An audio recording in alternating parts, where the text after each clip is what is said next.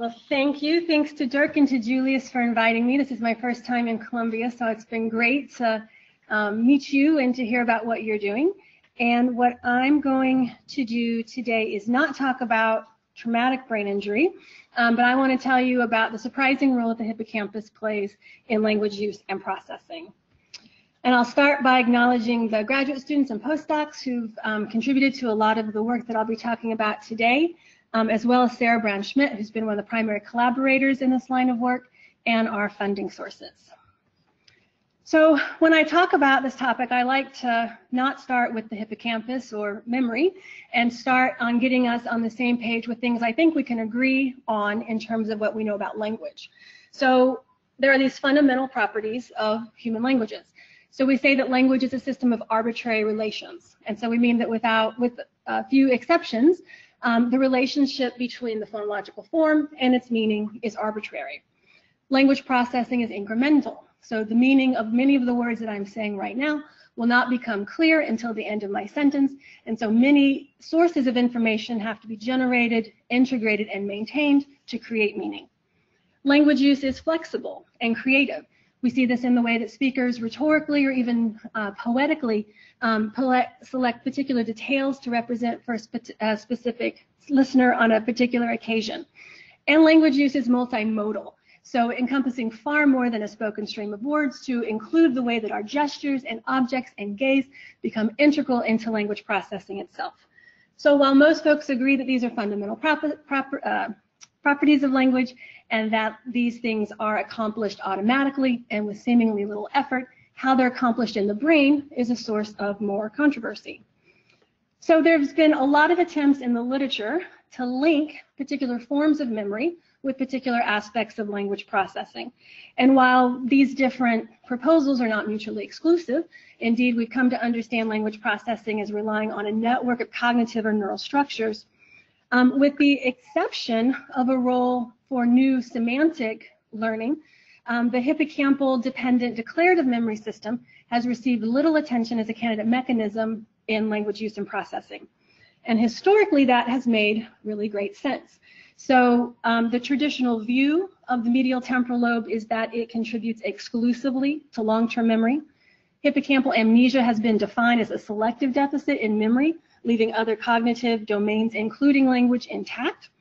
And um, our understanding about the role of the hippocampus in even acquiring new vocabulary items has been that it is time sensitive.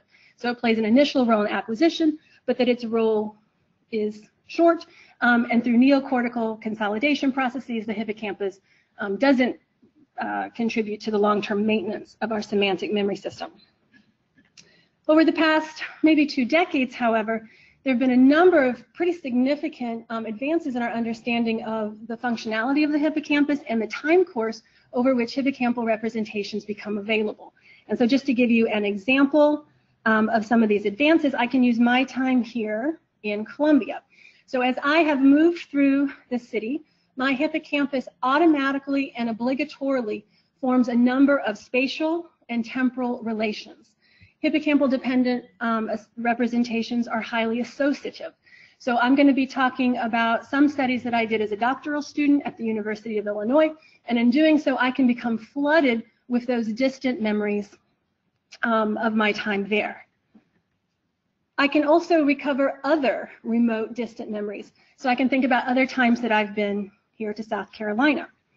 Some of the critical advances, though, in our understanding of the functionality of the hippocampus is that it also contributes to thinking about the future, imagination, and creativity. So I can imagine and think about what a subsequent trip here um, to this building and to visit you would be like. But perhaps most significantly for theories of language use and processing, the hippocampus is active now. So my hippocampus is knitting together a representation of this moment and it's making that representation available to me now in service of my ongoing behavior. So these advances have a number of implications for the memory literature, um, but they have pretty significant um, implications for theories of language use and processing. So I have proposed that many aspects of language use and processing place high demands on and receive significant contribution from the hippocampal declarative memory system. And a particularly compelling way to test this idea is to study patients who have bilateral hippocampal damage and profound declarative memory impairment.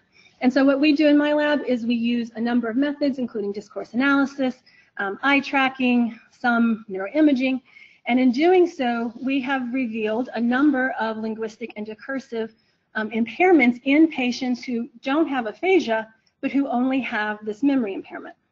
So um, what I want to do is to kind of set up one of the tasks that we routinely use, because that will help you um, understand uh, some of our methods. Um, so we often use this collaborative referencing task, and I'm going to show you a little bit about that in just a moment.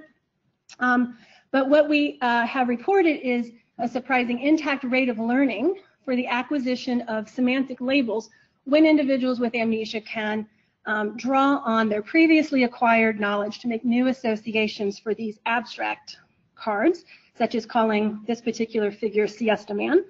And although they show remarkable learning in the task, it's a very communicatively demanding task. And so what I want to do next is give you a feel for the task, but I also want you to see um, one of these participants and you can evaluate um, what you think about their language ability. So um, a couple of observations. Um, they're really good at this task. They show remarkable learning in the context of this task, and this is something I'd be happy to talk about after the talk or during the question. Um, but what you can see is what's ideal about the task is there's all of this back and forth. So um, one session gives us nearly, um, you know, a couple dozen hours of language that we can analyze. But critically, I'm not talking about aphasia. So you can see that um, whatever disruptions I'm going to talk about in this presentation, this is a very different um, disruption in language than um, what is produced by stroke and that we would, what we would call aphasia. So what I want to do now is give you some examples of how having hippocampal amnesia or hippocampal damage um, disrupts some of these fundamental properties of language. And the first um, set of examples I want to give you are examples of how hippocampal amnesia disrupts the flexible and creative use of language. I'm going to tell you about two studies, um, but I want to um, tell you a little bit more about these patients. So in all the analyses I'm going to tell you about today, um, the sample size will be about four to six participants. Um, it's a very rare um, event to get an anoxic episode or herpes simplex encephalitis that produces um, the pattern of hippocampal damage that we need, but also those are two conditions that can also produce other um, cognitive or neuropsychological impairments. So by definition, we only include those individuals who have bilateral hippocampal damage and who on neuropsychological testing only have a profound impairment in memory. So everyone, all the data I'm going to tell you about, these are all individuals who are clean or have normal intact performance on neuropsychological measures of language, intellect, executive functioning, attention, sort of you name it. Um, we studied two males and four females. Um, they all are college educated. Um, they have a profound memory impairment. So the videos that I just showed you, that individual from trial to trial doesn't remember that he's just played this game. I've worked with him for almost 15 years. He couldn't recognize me or know my name. Um, in these studies, we have them bring in their own familiar communication partner, and then we also study healthy individuals in the same setup. And in this particular task, um, we have them do it 24 times across the two days, as I said. So in the first analysis of these data, we wanted to look at definite reference. And so when we tailor an utterance, um, we can use a definite reference like the in the windmill, or an indefinite reference like a windmill. And in selecting an utterance that contains a definite reference, the speaker is signaling to the listener that the speaker believes that that referent can be identified in local context or through their um, shared communicative history. So it's signaling shared known information. And so what we were interested in is asking, wow, these patients show remarkable learning in this context do they use language that would mark that knowledge as shared explicitly through these definite references? And the answer is no, they don't. Um, so they're not using the definite article to signal that that information is shared. And just to give you a sense of what this looks like, um, this is data from the 24th trial of a participant with amnesia and a demographically matched healthy comparison participant. And you can see the comparison participant is overwhelmingly and explicitly marking all of those labels with a definite article. The participant with amnesia on 25% of the labels is still explicitly using an indefinite article, as though they are arriving at this label for the very first time, even though they now have labels that are very short and concise. Um, period. So um, here I'm showing you the use of definite article use um, binned into four sessions, and each session has six trials. And you can see that healthy comparison participants quickly reach um, ceiling level performance and that the patients show this steady incline towards using more definite reference. But if we look um, more closely at these data, we see that their use is highly variable and inconsistent. So again, this is on the 24th or the third and fourth um, sessions. Um, you can see that um, there's still a lot of indefinite reference use, and the use of a definite article on one trial does not predict statistically its use on a subsequent trial. trial. So this is increased use of it, but it's still um, almost random. So an analysis like this, we can show that the patients with amnesia who had described these cards multiple times and showed really remarkable learning for the labels are still using indefinite articles, again, as though they were encountering them for the very first time. This is one of the first studies that point to the hippocampal declarative memory system as playing a role in the flexible tailoring of utterances for specific partners on specific occasions. Um, and it was also um, somewhat unique in the literature because it's the first example or among the first examples of how this memory system contributes to language use beyond um, acquisition of new vocabulary items. So I next want to tell you a little bit about um, a study we did on the creative use of language. So this is, um, there's lots of ways that you can define creativity. This is one from the neuroscience literature that I um, particularly like, and it describes creativity as the rapid combination and recombination of existing mental representations to create novel ideas or ways of thinking. Um, if you look at the sociolinguistic literature, linguistic creativity as talked about as verbal play. So I would bet that many of you have already engaged in linguistic creativity today. So you have told funny stories or jokes, you've played with sounds or the meanings of words to come up with puns, um, teasing, self-deprecating humor, um, playing with the sounds of words. So what we did is we took this definition from the sociolinguistic literature and we created a coding system and we went back to that collaborative referencing task and looked for instances of playful creativity with language while they were doing the task. And so if we look at just the productions of those participants with amnesia and the comparison participants and not their partners, we see that um, individuals who have hippocampal damage um, produce language that is coded or classified as creative or um, verbal play significantly less than um, healthy participants. And this is in the context of talking more than healthy people. So we had more language to look at. And in terms of that language, they are producing less instances of this verbal play. And I should also say that um, this is interesting because the semantic um, classification, the, the, semantic content of the labels um, between groups was very similar. And that's particularly true at the beginning of these um, tasks and at the very end. But it was in the middle of these 24 trials where the comparison participants were very playful and creative. And so these are just some examples of labels that healthy participants said to describe these abstract figures. So Kramer holding a box of Seinfeld cereal.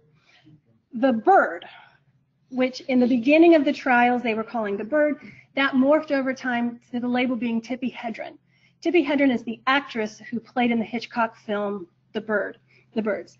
Um, healthy comparison participants use labels like Squirrely Viking Ship, Indian Stock Exchange, the Horsey, of course, of Coursey. Hey, professor, I have the answer. Help, I can't get up. To describe these tangrams, and then other labels, which I reserve to assume there might be something um, going on with our healthy comparison participants. Um, but nonetheless, you see this playfulness, you see this creativity, you see the weaving of all kinds of information in service of creating these labels um, in very playful, creative ways that you just don't see in the participants with amnesia. And I should say it's not that these amnesic participants don't have the semantic content, right? So they know about these films or these TV shows. They don't draw on it and weave it into their social interactions in these playful, creative ways. So here we see a role of the hippocampal declarative memory system in its role for creating, updating, juxtaposing mental representations, and in their flexible and novel use, and how that contributes to creative aspects of language. Um, and this fits with other work from um, our lab and other folks looking at the relationship between hippocampus and um, linguistic creativity, but also creative thinking more broadly and imagination. I want to say here something about specificity. So in all the studies that we do, um, we study these patients who have the bilateral hippocampal damage and the memory impairment, but we also within that study or in a replication study will um, do the same study in a group of patients who have um, lesions outside of the medial temporal lobe. So we want to be in a position to make strong claims that what we're finding are specific to the hippocampus and not a general byproduct of brain injury more broadly. So um, in the two analyses that I've showed you so far, um, we've studied a group of patients who have large bilateral um, lesions to the ventral medial prefrontal cortex, um, who have no memory impairment, who have no MTL damage, and who have no disruptions in these language functions. Um, the specificity of analyses like these um, have also been taken to bolster claims about what role the hippocampus may play in language evolution. So in these analyses, we see how the hippocampus contributes to language in its flexibility, its um, recombination, um, perhaps its generativity, and its creativity. And those are exactly the components that exist as a fundamental property of language. And here's someone arguing that the hippocampus, the neural structure that supports those cognitive abilities, um, may have been an early um, critical structure in language evolution. Um, next, I want to tell you a little bit about incremental language processing. So here we're looking at online referential processing. So we know that to understand and use reference, we have to maintain a representation of the unfolding discourse, and we have to integrate information about refer, um, referential form with rich representations of context. So what we were interested in here is there were other um, studies in the literature pointing to um, a role of the hippocampus in maintaining representations over very short delays and even no delays at all. And if that extends into language, this is one of those places where these changes in how we think about the time course of hippocampal contributions to cognition more broadly would have a big impact in how we think about language processing. So in this study, um, we had participants um, look at a video screen and we're going to track where they look. It's an eye tracking study. We're going to track where they look um, when they hear the sentence. So in this study, um, we have two conditions. This is the different gender condition. So participants are going to hear, they're going to be introduced to a character Minnie, and they're going to be introduced to a character Mickey. Their attention is going to be directed away from those characters, and then they're going to get a pronoun. And then they're going to hear a little bit more discourse that's going to resolve that pronoun. Um, in a condition like this, participants just have to um, just they have to um, map that gender reference to the discourse history and to select a referent. Um, a more challenging condition is when you introduce ambiguity. So here we have two female characters, and they're going to get the pronoun she. We know that English healthy English speaking healthy undergrads um, in contexts like this where there's ambiguity, um, they have a bias towards selecting the first mentioned character. So um, even though temporal order can be encoded, there's still this bias to, as an initial interpretation, go with that first mentioned character. So um, before I show you the results, let me just orient you to the type of data that you're going to see. So on the x-axis, we have time in milliseconds. On the y-axis, we have the proportion of um, fixations to the target. Um, you can see here those uh, two conditions. So D1 and D2, those are the conditions where the genders were different. And D1 is when the target was the first mentioned character, D2 the second. And here we have the second um, or the same gender condition where um, S1 is when the target is the first mentioned, S2 is the second mentioned. And you can see that in healthy undergrads, when the um, reference have different sex, there's a very rapid, quick um, selection of the accurate um, target in that when the target is actually the first mentioned character, participants find that character quickly, but you see a delay in finding the target reference when it's the second mentioned character, because again, there's this bias towards the first mentioned. So um, here's how healthy undergrads perform in this pronoun resolution task. These are healthy comparison participants that are demographically matched to our brain damage participants, so they are significantly older than the healthy undergrads, so we do not have an effect of age um, in this task. These are our brain damage comparison participants. These are the individuals with large bilateral VMPFC lesions, and these are the amnesics. So even in listening to a very short discourse history, they are impaired at using information about the relative salience of the reference to disambiguate um, the pronoun. And this is even true when the genders were different. So um, this suggests that hippocampal damage is contributing to online language processing. Um, and the, the new finding here um, was the time course. So um, it was previously thought that if an individual with amnesia had a conversation, there would be no deficit in processing and following what the speaker was saying in the moment, but the deficit would be in remembering the content. Here we're showing that as language unfolds in real time, the hippocampus is playing a critical role in maintaining those representations and probably also in the encoding of the temporal order. So the participants either had to maintain the representation of what was said or they had to reinstantiate the temporal order to be successful in this task. And we've been, um, there's plenty of literature showing that those abilities are impaired in memory tasks. And here we're showing those deficits extend to language processing. We switch gears a little bit and tell you about some work we've done on multimodal language processing. And this is work done by Katie Hilverman, um, who's a postdoc in my lab. So when we talk, we move our hands. Um, our co-speech gestures that co-occur with our spoken language are temporally, linked to our speech and semantically related to the content of our speech. Um, a unique feature of gesture is that um, the information that we put on our hands is iconically related to our thoughts. So just in the way that we encode the contents of our thoughts in our speech, um, there's also elements of our thoughts on our hands. Um, and if we think about the types of information that can come out on our hands and information that would be stored in memory, this can be memory for imagistic features. So you can talk about the, the size of something or its shape. Um, there can also be memory for action or motor responses. So if I want to think about how to make my favorite sandwich, I can give um, different um, motor acts to describe how to do that.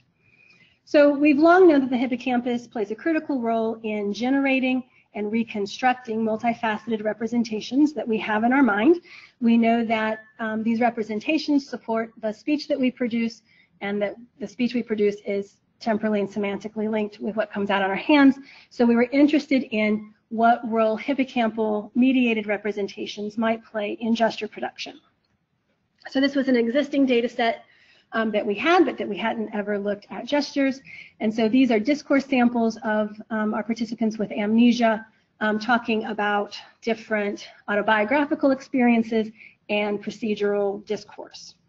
Um, we looked at the amount of speech they produced, and then we looked at gesture rate. And so we, we coded all the gestures they produced, and we categorized them as iconic, deictic, or beat and there's no differences in the groups in the distribution or proportion of those, so I'm not going to talk about those different subcategories of gesture.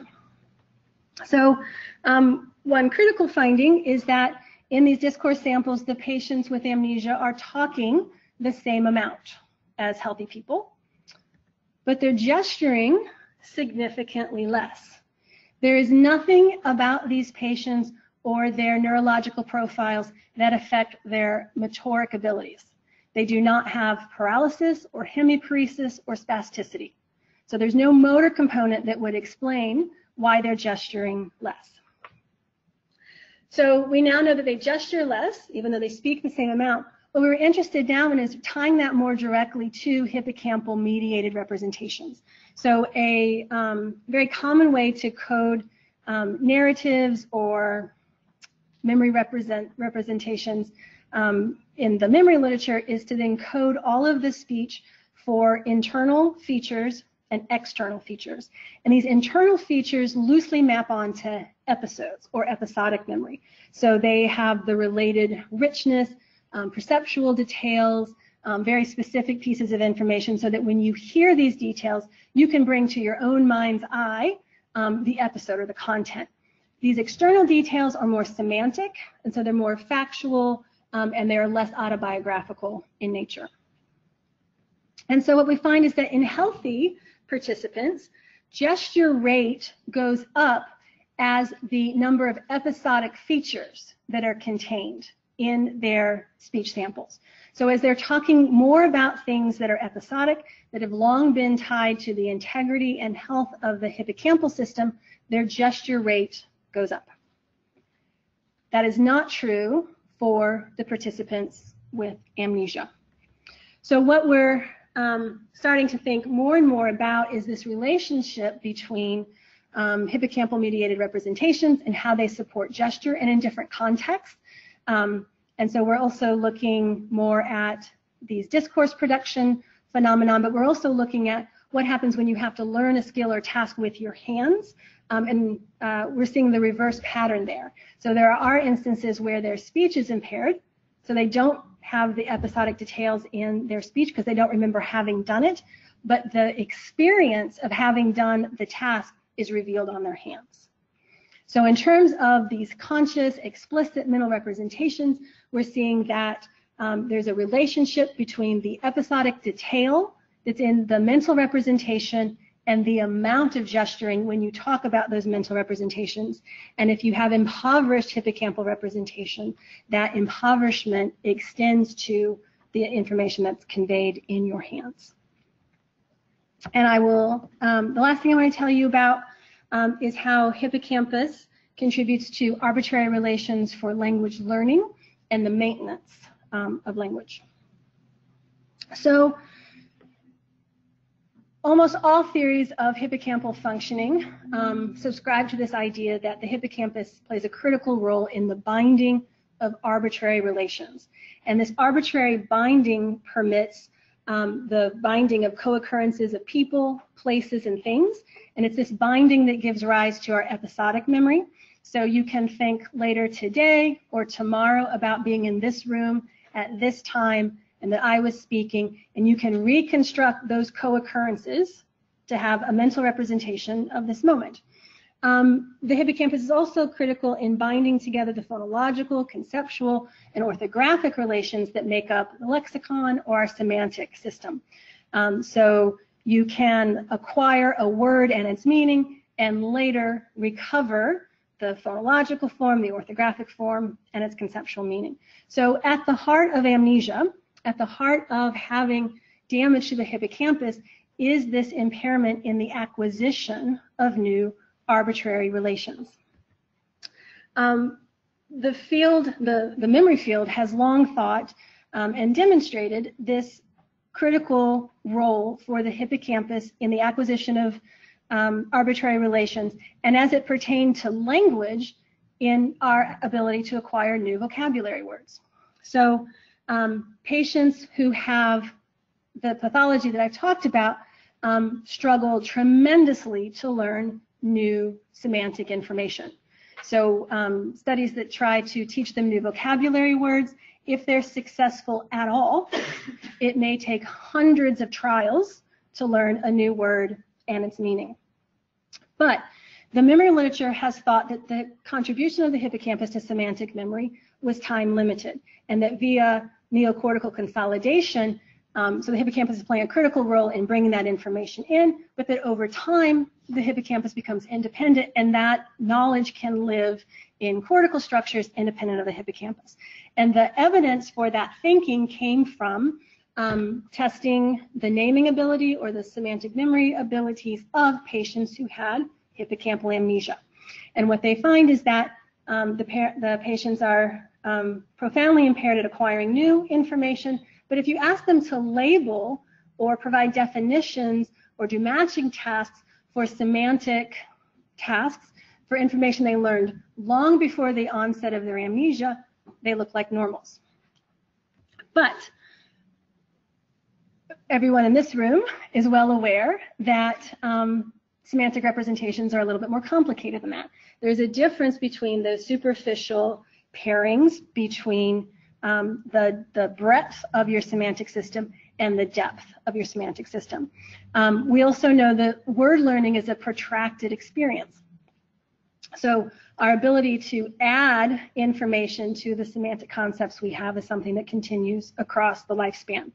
So with those um, criticisms or critiques of the previous memory literature, um, we wanted to go back and really address this question in more detail, and that is, is it actually the case that remote semantic memory is intact in patients who have amnesia?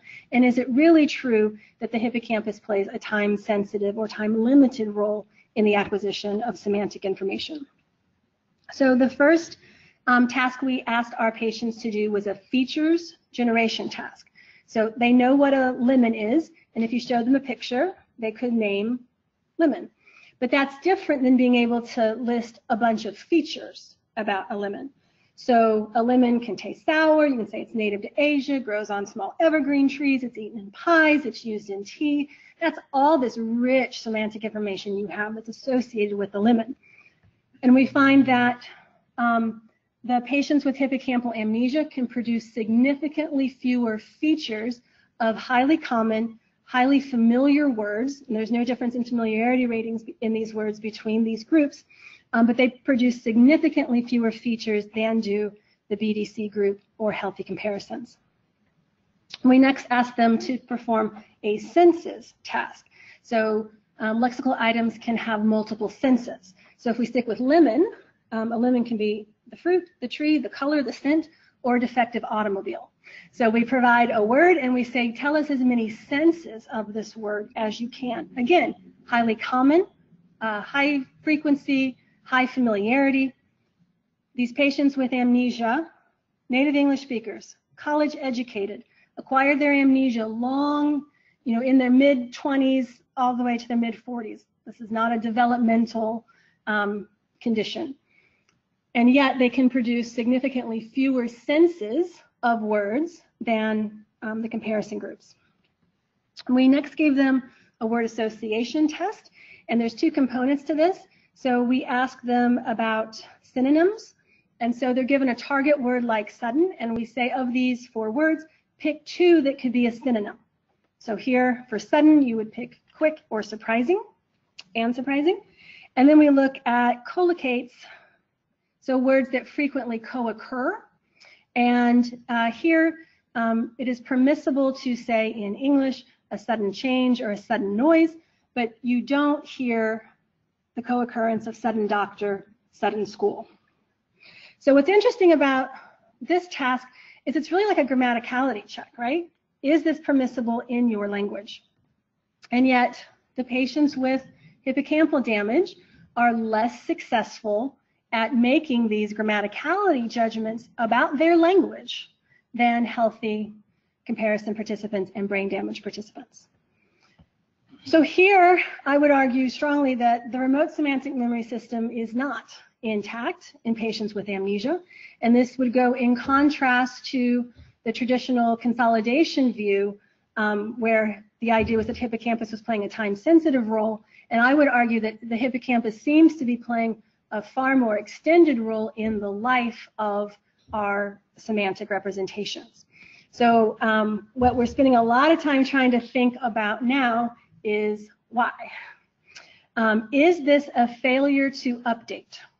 So our semantic system is enhanced by our moving through the world, um, experiencing semantic representations, hearing language, reading language, using language, that strengthens um, our underlying representations and the relationships between um, words or items. Or is it a case of language attrition? So are we observing um, a failure to maintain or a loss of previously acquired information? I'm going to tell you about how we're thinking about it, and I suspect that at the end of the day, these are two sides of the same coin.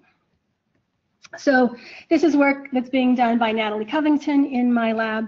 Um, and so when we started thinking about what would a failure to update um, new learning of arbitrary relations, um, we know that hippocampal produces a profound impairment in new word learning, but there's also new evidence that hippocampal damage disrupts statistical learning. And so there's been a couple of studies. This is ours. Um, these are patients, again, who have hippocampal damage and profound declarative memory impairment, um, and they have disruptions in acquiring statistical regularities, um, shapes, symbols, scenes.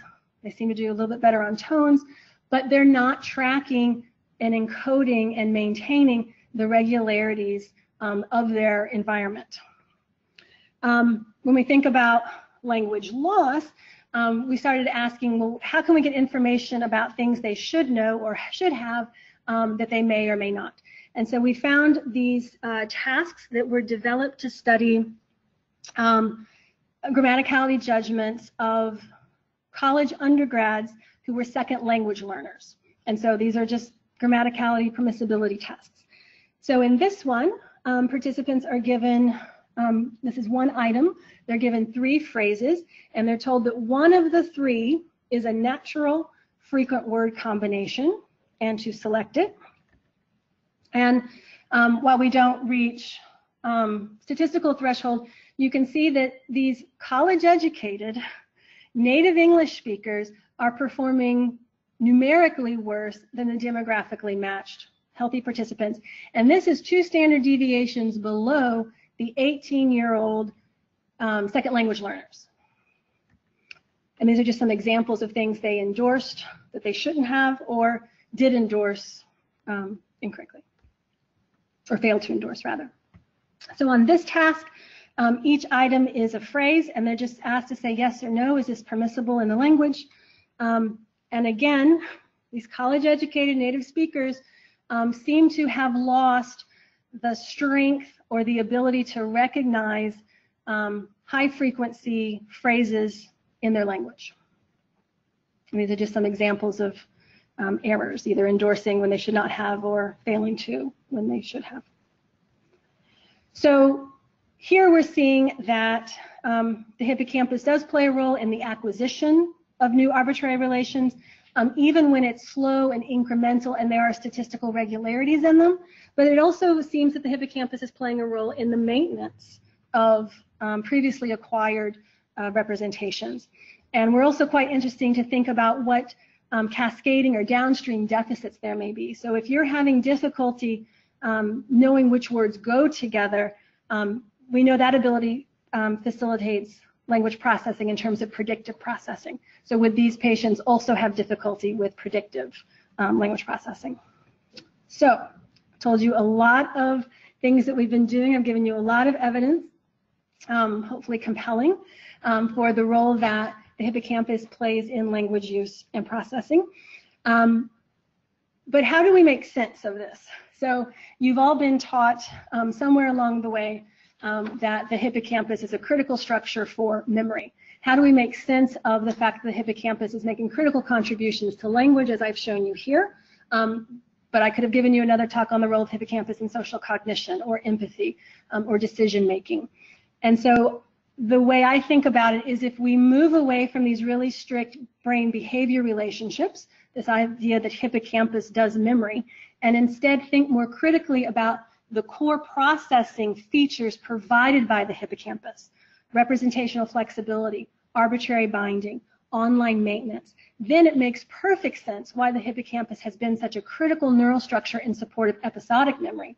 But it also then begins to make great sense why the hippocampus would be recruited in the service of language processing that also requires many of those same key processing features.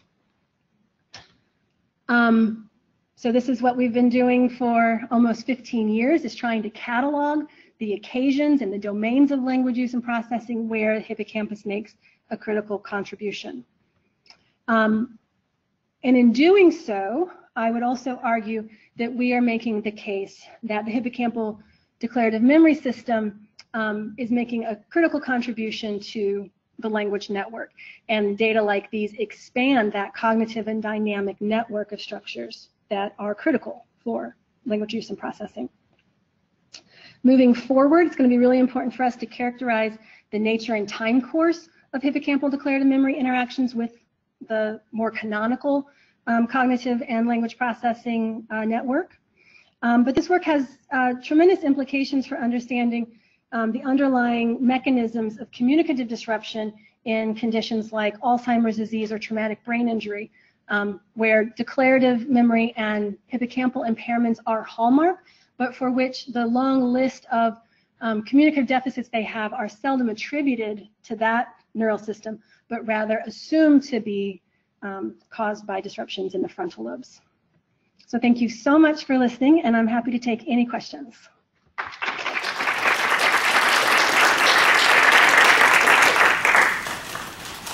Thank you.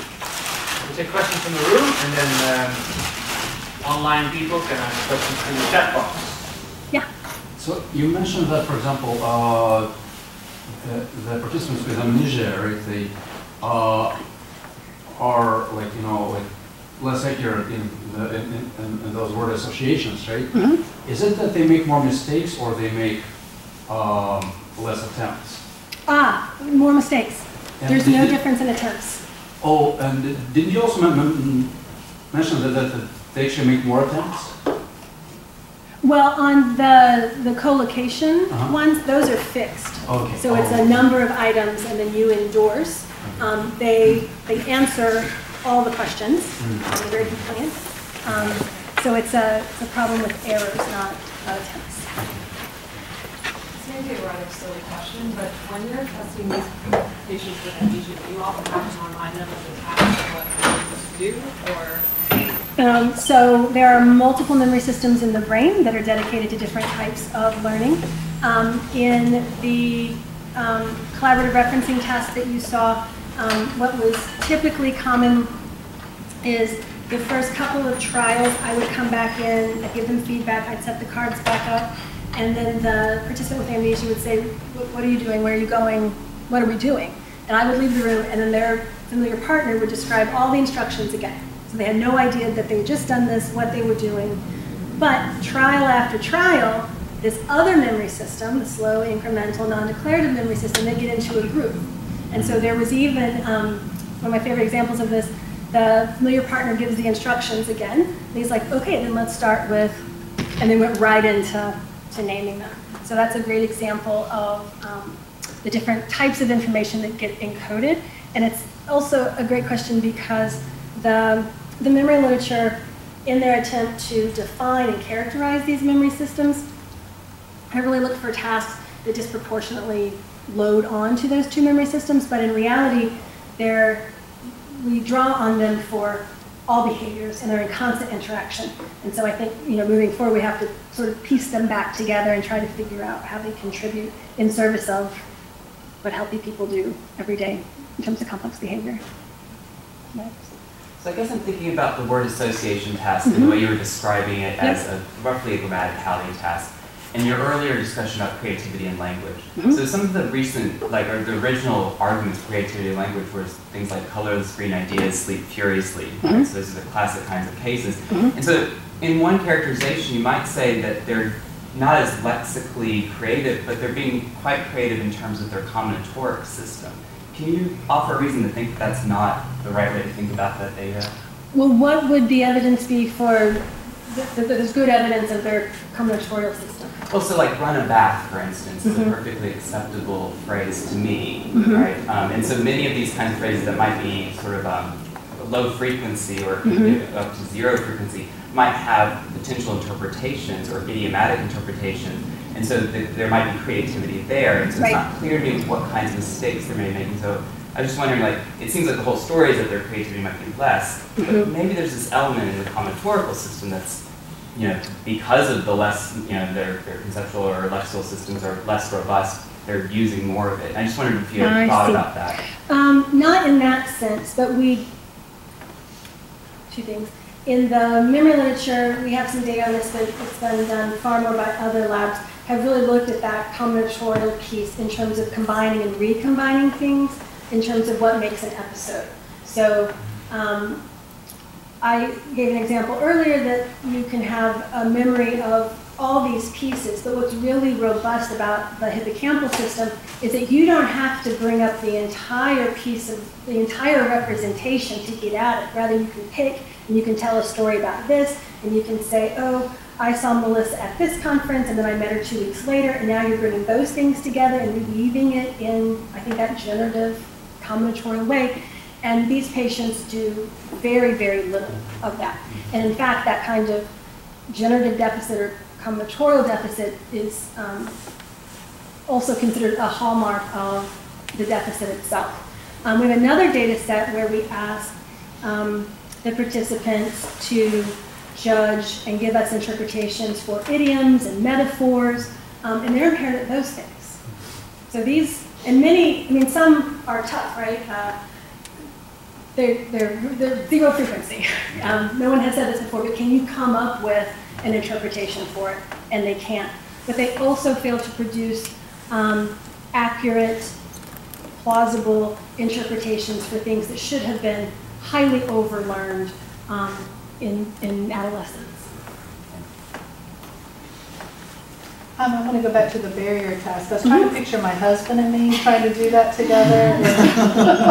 And I'm thinking, boy, those people Um, did you control for, were they all spouses? How long did they know each other? Did you control for those kind of things? Um, a little. So we controlled for they had to be um, highly familiar and routine communication partners. Um, so I think we define that by having um, five or more years of frequent, defined by weekly communication and contact. Um, there was no controlling for spouses, siblings, or friends. Um, a long, that was a long dissertation period to collect all these data. There were multiple versions of the task, and I, I thought it would have been helpful to have some kind of counseling uh, training along the way for exactly, um, exactly they- I guess one thing. I'm thinking about, did they know them before the damage, before the hippocampal damage? Um, 90% knew them before. Okay, so they had that joint reference from, They have that joint reference, but again, part of the nature of the deficit is that these patients don't take full advantage of that. And so, um, in the verbal uh, creativity, verbal play, um, so notice that when I reported that they have this disruption or impairment, it's not zero. So they're doing some of these things. And so what would happen is um, a participant with amnesia would make the joke, and then the familiar partner wanted to play with that, and so in a subsequent trial, trial would bring that joke back up, but the history was gone.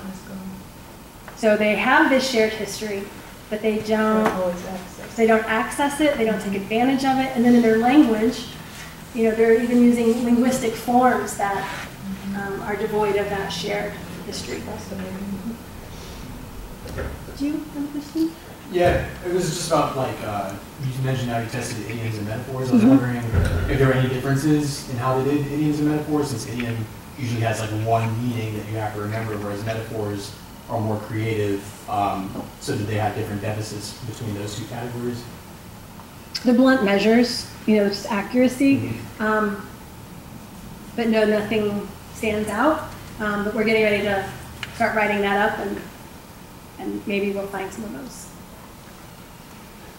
How about deficits, uh, if you don't, I mean, literature on just the creativity that's not creative in, creative in one sense, but not sort of non-literal, like, uh, you know, just, you know, novel uh, phrases, something like the blue tortoise, you know, chase the horse or something like that, right? Something that they haven't encountered, but Yes. it's like, you know, if you do the combinatorial syntax and you do your semantics, it just Yep. kind of puts a sort of, sort of more linear, but still combinatorial. Yes, so we have a study um, where we give them, how's this go?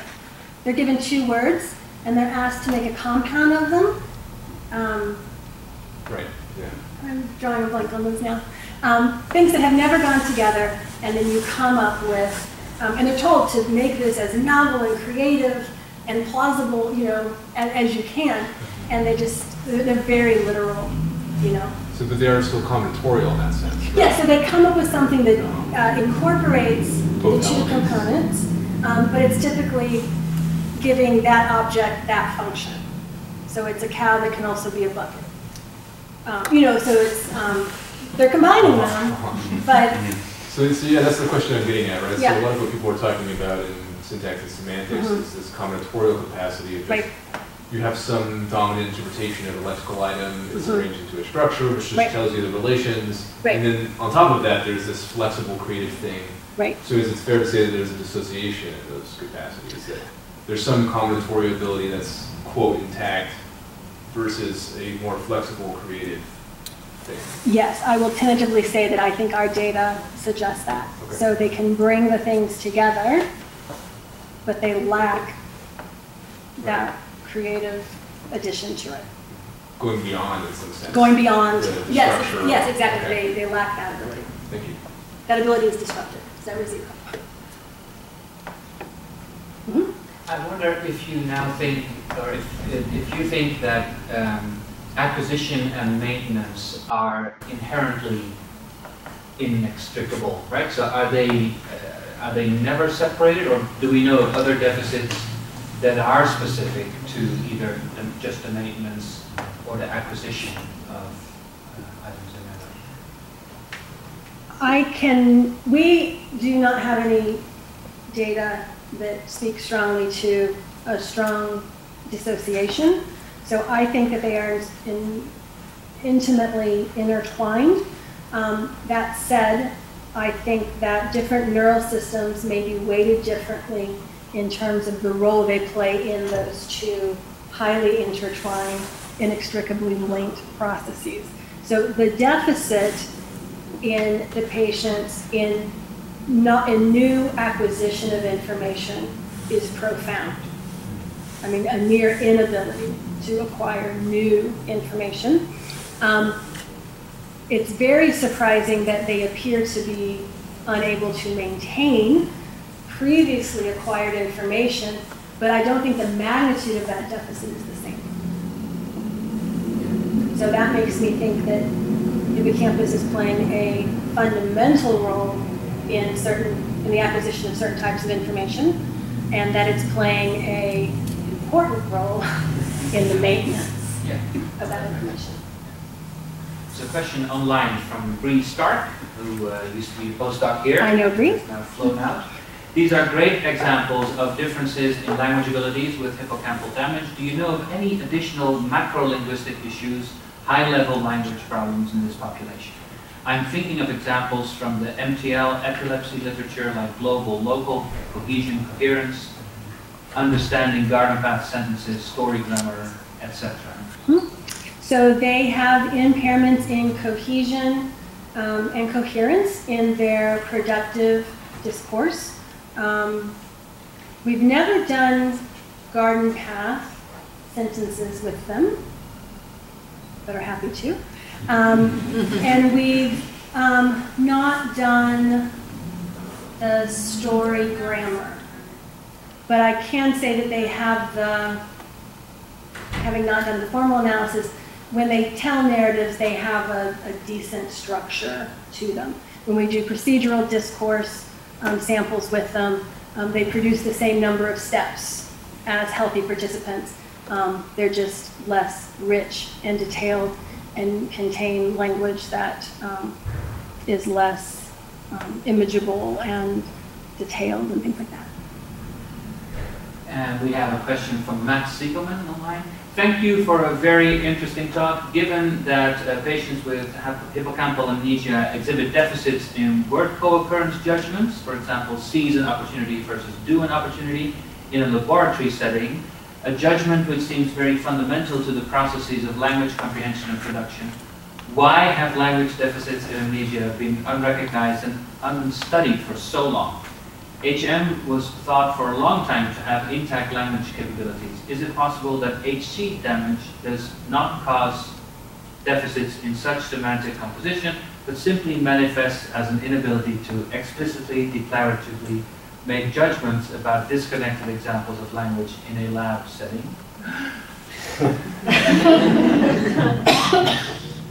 I don't have the working I memory need to capacity for this. Yeah, um, fantastic question. Um, I think the reason that, um, people early classified or described HM as having normal language was because he didn't have aphasia. Right, so this was, he was one of 13 people who had this experimental surgery. He was the only clean one to study who didn't have, you know, extensive cognitive disruption, um, who didn't have a continuous or subsequent psychiatric condition. So when people were trying to understand the nature of the consequence of the surgery, um, he could have conversations, he was fluent, um, there was nothing that approached aphasia or semantic dementia. So check, check, check. And again, all the, the measures that would be used to assess that came from the aphasia literature, right? So didn't have aphasia. So what do you, what do you want to spend your time working on? What about this memory impairment that we have never observed before? We've never been able to link um, with neurobiology. So that's why people spent all of that attention. But there's a paper as early as 1974 questioning the intact language um, descriptions of um, HM. Don MacKay has accessed um, many, many archival um, recordings and transcripts of HM's data and reports almost all the same deficits that we're finding in this group. That said, I don't believe that uh, while the deficit we are observing is clinically meaningful and in some cases um, highly disruptive and uh, severe, um, it pales in comparison to the language deficits observed in aphasia. Um, but that doesn't mean that we can only capture them under these highly contrived laboratory grammaticality um, decisions. Once you're keyed in to these sorts of disruptions and then you have a conversation with them, you are struck by some of these um, disruptions. But again, when you meet someone like this and you're told they have amnesia, um, you're very uh, caught off guard by how quickly they ask for repetition um, or have forgotten where they are. Um, but they're still speaking fluently and, and responding appropriately in terms of taking their turn. So the, the magnitude of those deficits within an individual are quite striking. And so I think that's why. It reminds me just a little bit of so something we have with uh, speakers with aphasia. Mhm. If they're really on the high end, they may sometimes test as non-aphasic on our batteries. Absolutely. And even even though if you speak to them or they will self-report that Yes. it's really not completely unimpaired. There's Right. something going on. That's right. Really, at that high end, it's very hard to capture Absolutely. in, in. And we were having this conversation earlier today. Um, you know, when we make decisions about um, language, we are at these two extremes. There's whatever we call healthy, and maybe that's just non-aphasia, and then we have these profound disruptions. Um, we know almost nothing about the, the tail end of the normal distribution of healthy, normal language. What does that look like?